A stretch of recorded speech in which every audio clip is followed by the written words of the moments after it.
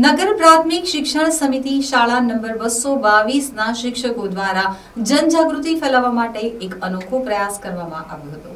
નગર પ્રાથમિક શિક્ષણ સમિતિ શાળા નંબર બસો બાવીસના શિક્ષકો દ્વારા ખૂબ જ ઉમદા કામગીરી કરવામાં આવી રહી છે.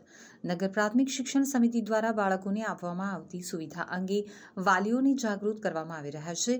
ખાનગી શાળાઓમાં મોટી ફી ભરવા કરતાં સરકારી શાળાનો લાભ લેવા માટે પ્રચાર અને પ્રસાર કરવામાં આવી રહ્યો છે.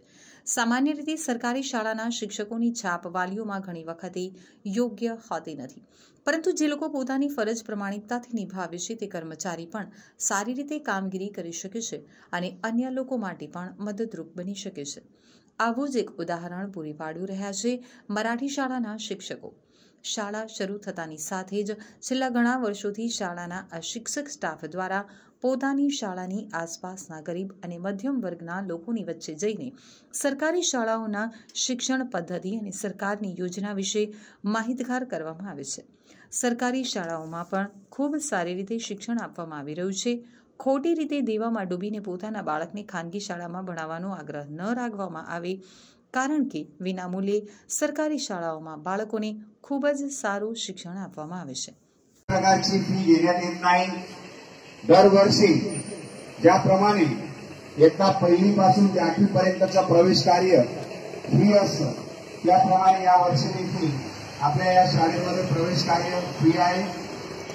सरकारी शाळेत जर आपण प्रवेश घेतला तर त्याचा सर्वात मोठा लाभ म्हणजे आपण प्रायव्हेट शाळेत गेलं नसेल तर आपल्या विस्तारात दोन सरकारी शाळा सुरू आहेत.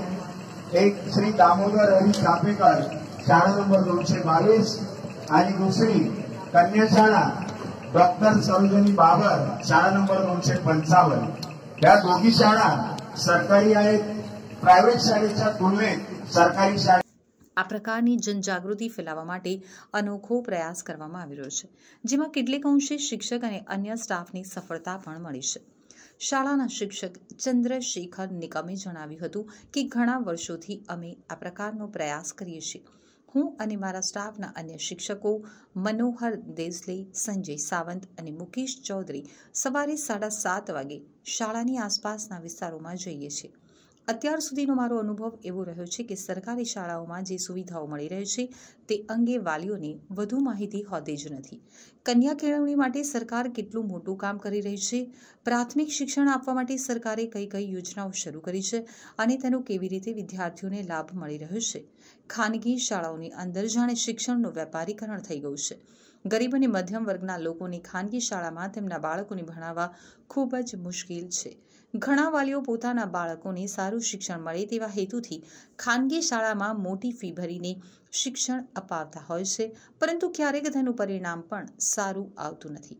બીજી તરફ, આર્થિક બોજ પણ વધી જતો હોય છે.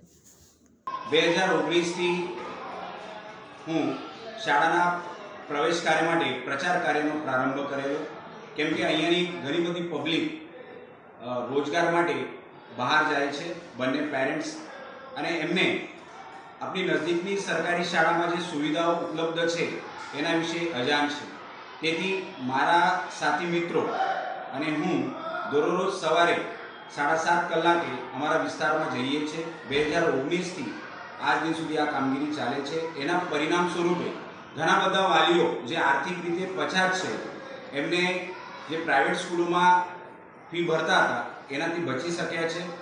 સરકાર પ્રજા માટે જે જે લાભો આપે છે એ તમામ લાભો અમે પ્રજા સુધી પહોંચાડીએ છીએ. સરકારી શાળા વિશે જે પરસેપ્શન ઊભો થયો છે, એ પરસેપ્શન આજ દૂર થાય છે. અને ઘણા બધા વાલીઓ સારી રીતે અને મોટી સંખ્યામાં અમારી સ્કૂલમાં પ્રવેશ લે છે. મારા સાથી મિત્ર શ્રી મનોહરભાઈ પણ આ કાર્યમાં સેવા આપી રહ્યા છે અને ભવિષ્યમાં પણ આવી જ રીતે અમે અમારી સ્કૂલ માટે આ કાર્ય કરીશું.